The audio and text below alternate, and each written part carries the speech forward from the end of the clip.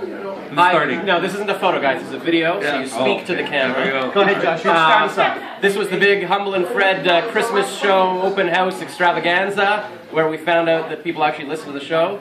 And uh, this is the panel of men. With our very own And, uh, shirts. and, And I'm Eileen Josh. just walked in there.